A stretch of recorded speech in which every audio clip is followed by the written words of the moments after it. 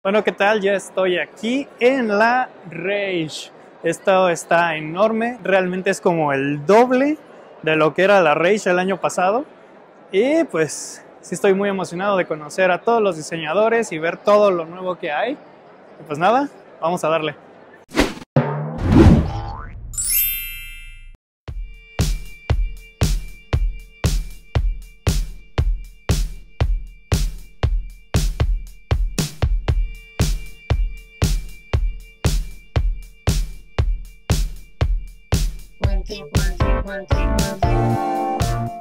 Bueno, ¿qué tal chicos? Estamos aquí con Leo y Mitch, diseñadores de Wildlife.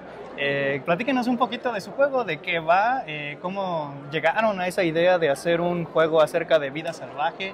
Eh, más o menos por ahí veo que todo se centra en el oso y el zorrito. Entonces, a ver, díganme, ¿cómo está la cosa de su juego? Bueno, eh, todo empezó porque ella es muy aficionada a los zorritos. Entonces, pues ahí haciendo rayones en una libretita empezó a salir más o menos la idea de cómo eh, hacer una interacción entre estos zorritos, que es Yagua, y más animales, ¿no? No queríamos quedarnos como tan eh, pues, monocromáticos, ¿no? En esta, en esta parte de, de los personajes. Eh, pues poco a poco fuimos desarrollando la idea, de hecho el juego salió a partir de... La eh, zapada lúdica. de la Zapada Lúdica, fue un Ah, concurso, ah, eh, ganó en Puebla y vino aquí a Guadalajara para lo de, eh, ¿cómo se llama? el Rolla Game, El Rolla para Game. hacer el juego del Rolla Game, quedó en el top 5. Y bueno, pues gracias a eso nos animamos a, a extenderlo un poquito más. Adrián eh, fue nuestro gran apoyo, él dijo, no, sí se puede y es un gran juego y ustedes, este, vamos a echarle ganas. Entonces dijimos, pues sí, vamos a hacer más cosas, lo desarrollamos, lo hicimos a computadora porque en la zapada era hacerlo ahí, entonces todo fue hecho a mano. Nos talachemos los dibujos ahí De en hecho, la todos los dibujos que tú ves son hechos a mano. Se escanearon y ya lo- los pusimos este, a computadora y así, pero todo es hecho a mano. Me queda claro que todavía no está listo, ¿verdad? Eh, lo Para quieren sacar venta, a todavía Kickstarter y todo ese show. Eh, ¿Cuándo planean sacarlo? Pues todavía no estamos seguros, estamos Esperamos. viendo cómo lo reciben, qué tal va y ver si hay necesidad de hacer algún cambio o algo así. La verdad es que el juego está ya muy probado, ya lo hemos testeado con muchos públicos, desde niños hasta jugadores intensos aquí, hardcore de, de juegos pesados, ¿no? Y, y- y han salido detalles, ¿no? Ahorita ya estamos como intentando probar en este otro nivel, ¿no? Ya por masas, a ver qué tal funciona. Creemos que, que el juego ya está casi en una etapa final. Y de sacarlo, pues esperamos que sea en el transcurso del 2020. 2020, ok. Y para todos los que estén interesados, ¿dónde pueden encontrarlos? Díganme sus redes sociales, cómo los encontramos. Sí, nosotros somos de Puebla, entonces si van allá, nosotros este, pueden encontrarnos casi casi en cualquier tienda de, de juegos de mesa. Ah, ok. Y este, tenemos Facebook, que es We Life the Card Game. Y también tenemos Instagram, que es igual, de We Life the Card Game. Perfectísimo. Bueno, pues ya saben, eh, si les interesa saber más de Wildlife, síganlos en todas sus redes sociales y estén pendientes para cuando estén en Kickstarter y los puedan apoyar. Muchísimas gracias. ¿eh?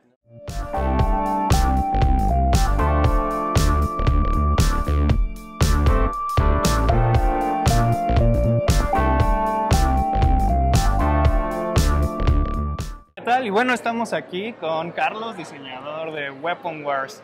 Eh, Weapon Wars es un juego que ya pasó por Kickstarter, ya está financiado, ya está listo para la venta. Ya estamos aquí con todo. Así es, un éxito del Kickstarter mexicanos. Pero igual, para los que no conocen, platícanos de qué va Weapon Wars. Pues Weapon Wars, este, básicamente somos ñoños que nos sentamos a pelearnos y pues Como la vida real. como el ajá. Nos- Ok. pero esta vez estamos haciendo cosplay y estamos usando armas de videojuegos y de cultura pop para atacarnos.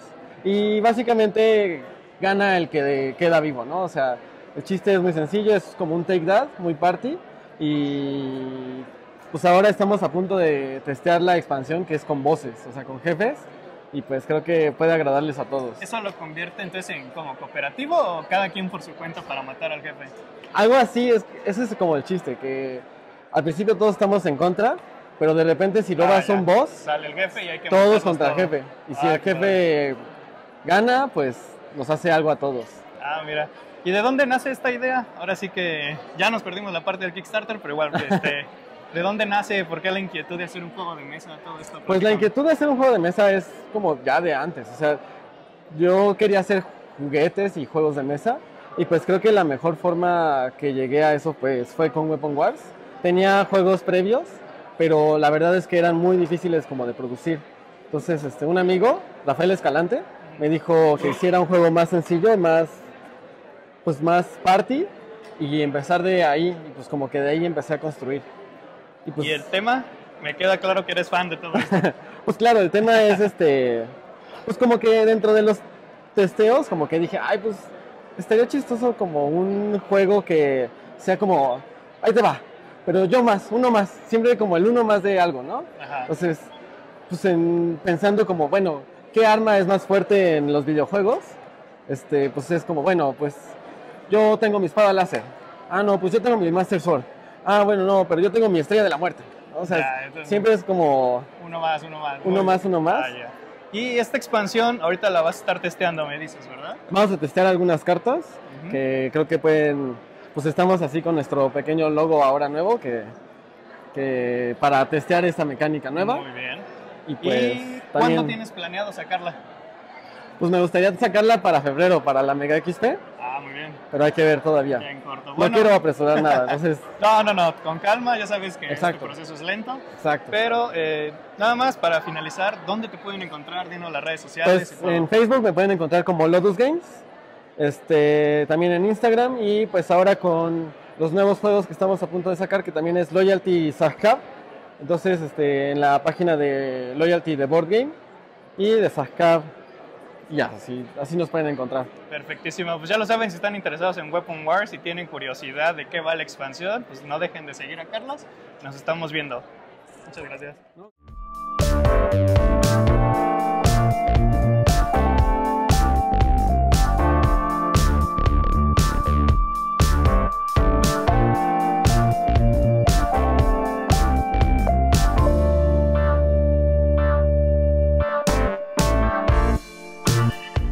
Pues aquí estoy de nuevo con Carlos, pero esta vez con Carlos también. Carlos y Carlos. Así es, Carlos, este Carlos es el diseñador de Loyalty. Loyalty. Eh, es un juego que ya probamos la Mega XP pasada, creo que Así fue, estuvieron. sí. Este, era un juego muy padre. Nos Gracias. dijiste en ese entonces que no tenías la intención de sacarlo. Pues no la tenía en ese entonces, pero me convencieron. Ok, entonces cuéntanos qué pasó, cómo te convencieron. Eh, con dulces y chocolates y dije, sí.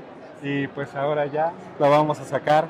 Eh, va a tener un Kickstarter, ¿cierto? Vamos a tener un Kickstarter y pues va a ser, supongo que pronto, también para la Mega XP.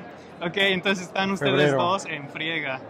Sí. Tres, porque bueno, no vino el ilustrador, pero Des también, es, bueno, nuestro también Está ilustrador. haciendo un trabajo muy está- padre.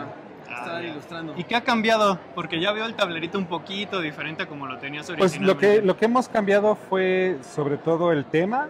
O sea, al, al inicio teníamos un tema que pues no era como muy llamativo. Ujú. lo estamos cambiando un poco y pues el diseño, el diseño de, de las cartas, el, el- el diseño no del juego, Sino el sino el diseño diseño visual, gráfico, diseño sí. gráfico, Muy que lo bien. está haciendo Des, está haciendo un trabajo bastante chido. Perfecto. ¿Y qué esperas ahorita de todo el playtesteo? ¿O ya nada más para... Estás Eh, puliendo detallitos? Pues ya lo que se pule ya es mínimo, o sea, ya ha sido un proceso largo, como de ¿qué, un año, ya va a ser un año Sí, y un cachito, porque lo empezamos antes de XP y este, pues ya cre- creemos que está bastante bien pulido. Perfectísimo. Eh, ¿Dónde podemos encontrar información de Loyalty? Cuéntanos. Pues ahorita en Facebook, en Loyalty The Board Game, lo pueden buscar y ahí este, Carlos ha estado subiendo pues el trabajo de Tess y pues las cosas como lo hemos ido haciendo y pues próximamente en Kickstarter también. Eh, si lo quieren jugar, pues por ahorita es solo aquí. O con Y- nosotros vamos a hacer muchos testeos eventualmente. Pues ahorita, ahora sí que solo en la Ciudad de México. Nos gustaría expandirnos pronto a Guadalajara o a otras ciudades, pero ahorita primero en la Ciudad de México. Muy bien, entonces pues ya saben, si andan por la Ciudad de México y les da curiosidad saber de Loyalty, pues ahí hostíguenlo para que... Claro, Digo, ya, ya lo convencimos de publicar su juego, quién sabe de qué más lo podemos convencer. de publicar el que sigue. Ahí está, Pero ahora quiero más chocolates. Pues ya saben, traigan chocolates cuando vayan a jugar Loyalty y los estamos viendo. Muchas gracias. Gracias a ti, que estés bien.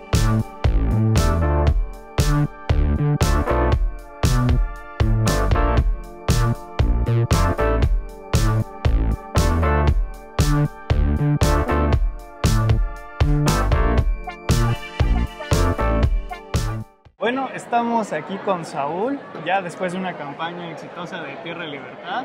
Hola banda.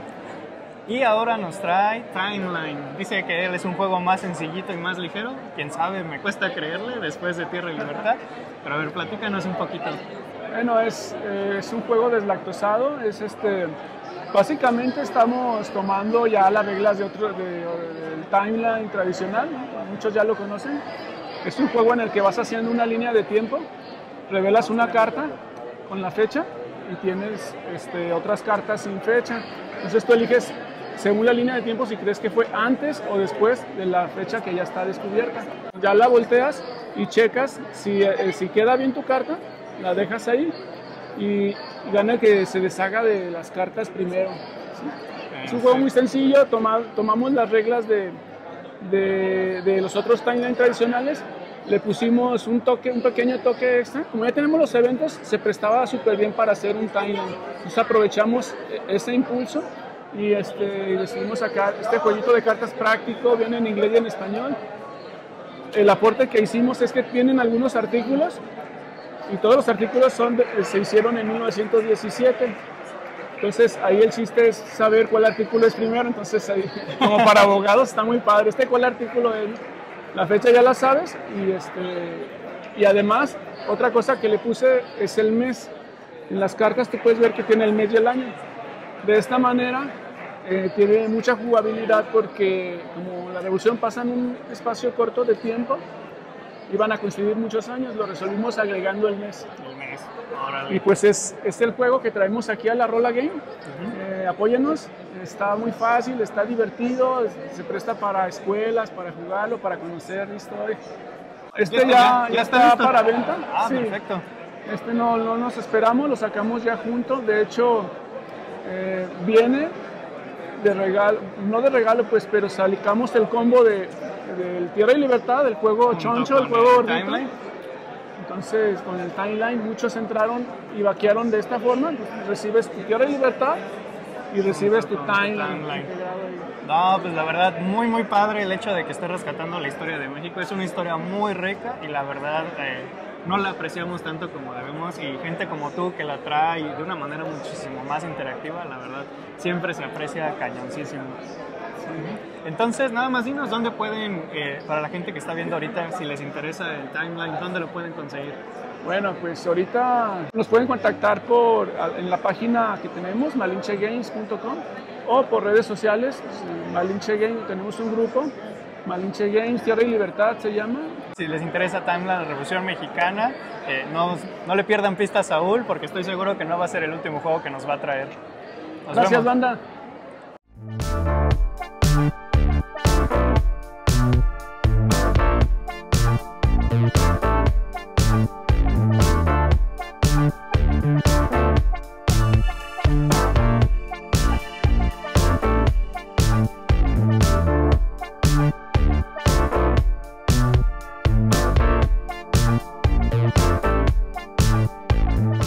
¿Qué tal? Y estamos aquí con Salvador, diseñador de Antes del Diluvio, un juego que está publicando ahorita Ludens Games.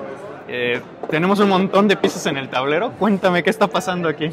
Sí, sí, mira, te comento. Eh, El juego básicamente eh, trata de lo que es la extinción en la Tierra, se da en un aspecto apocalíptico y hay que salvar la raza y la especie animal. Somos unos e-robots y vamos a, para ello, a salvar. Para ello, nosotros contamos con eh, diferentes animales y ellos se, irán, eh, se deberán ir colocando ronda a ronda en los diferentes hábitats que le corresponden. Como podrás ver, está, está en este caso, está el lago, está el desierto, la selva, está el bosque, la montaña, la sabana. Entonces, el objetivo del juego básicamente es que ronda a ronda nosotros iremos colocando los animales en el hábitat correspondiente. Durante 12 rondas iremos recolectando animales, los traemos primero a lo que es nuestro desarrollador y posteriormente, con otra acción de movimiento, lo colocamos en el lugar que le corresponde. ¿Es cooperativo o competitivo? Es competitivo. Competitivo el juego, completamente. sí, el juego puede jugarlo de uno, inclusive hay juego en solitario, puedes jugar de uno a cuatro jugadores. ¿sí? Y al final de 12 rondas eh, el que puntúe más eh, es el ganador del El juego. ganador. ¿De dónde nace esta idea? que ¿Es el primer juego que diseñas para empezar? No es Ok. el primer juego que diseño, pero sí es el juego que le tengo más cariño. Más, porque este juego eh, pues, fue creado básicamente para diversión familiar, ya que mi idea era que con la familia tuviéramos algo que nos uniera en mesa y pues de hecho de ahí surgió principalmente esa, esa idea, crear este juego. Y también eh, me llamó mucho la atención de que eh, en México está renaciendo o está ahorita desarrollándose ya eh, un crecimiento a nivel desarrollo de juegos de mesa. Y de hecho, pues, vaya, es, es algo que, me ha gustado mucho siempre y lo considero muy importante ah, pues, aportar ahí un granito de arena en esto. Normalmente eh, estoy mucho en redes sociales, me conocen como Salvador Sánchez Macedo y ahí este, es- estoy, me pueden encontrar fácilmente en Facebook. Mi correo electrónico es cpsalvador.yahoo.com.mx también por cualquier comentario que, que gusten hacer. Eh, estamos trabajando ahorita con, tengo ahorita ya desarrollados dos, dos juegos que ya tengo casi listos también para empezar a promoverlos. Ahí es donde me pueden encontrar, más que nada en redes sociales. Perfectísimo, pues ya saben, si quieren saber más de antes del diluvio, del mismo Salvador y en qué está trabajando, no olviden seguirlo. Pues muchísimas gracias, Salvador. No, muchas gracias a ti.